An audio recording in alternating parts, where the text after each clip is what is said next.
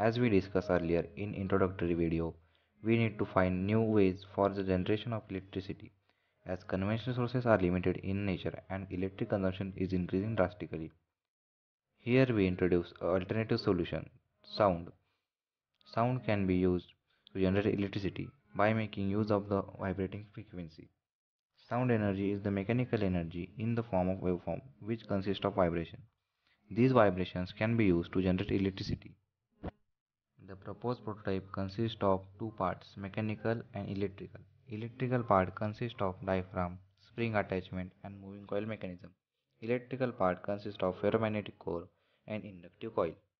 Coil is mechanically attached to the diaphragm by using spring attachment.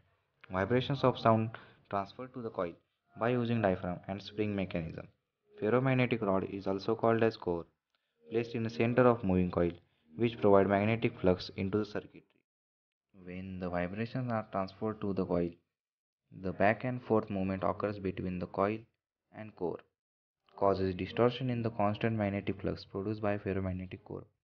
Hence, according to Faraday's law of electromagnetic induction, that is, any change in the magnetic field of coil of wire will cause an EMF to be induced in the coil. This induced EMF in the coil is further stored in battery.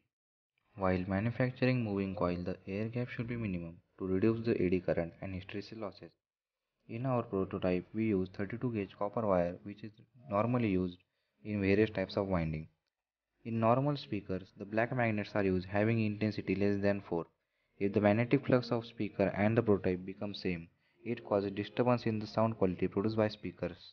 Hence, to overcome this problem, we used core of ferromagnetic material having higher intensity that is above 4. Design prototype can be introduced in market for various types of consumers like industries which having high machinery noise. This machinery noise can be utilized for further application.